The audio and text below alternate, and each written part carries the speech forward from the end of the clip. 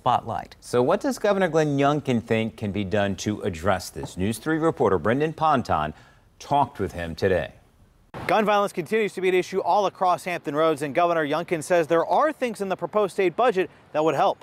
Youngkin took office in January as several Hampton Roads communities reported spikes in crime in 2021.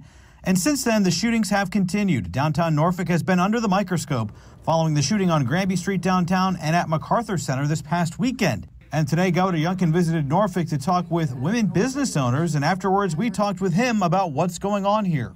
It's heartbreaking. Uh, and I, uh, first of all, um, every morning find myself uh, truly brought to my knees over things we're reading in the newspaper. And, uh, and so, first of all, we've got to get this budget passed.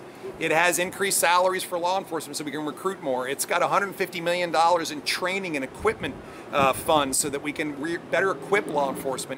Youngkin says he wants to get people together to talk about other ways to address the gun violence we're seeing here in Hampton Roads and across Virginia. State lawmakers continue to work out the details to reach a deal on the budget. We'll keep you updated as those talks continue. In Virginia Beach, Brendan Ponton, News 3.